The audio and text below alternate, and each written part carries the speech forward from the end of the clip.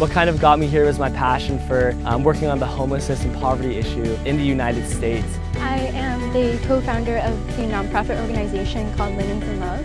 I'm hoping to assist children from grades 1 to 5 who don't have the means to provide themselves with good education, books, and school supplies.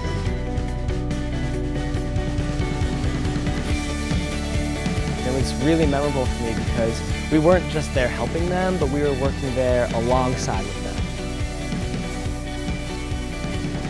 The most impressive thing about all six of them, it's how many of them have, at a very young age, built not-for-profit companies from the ground up.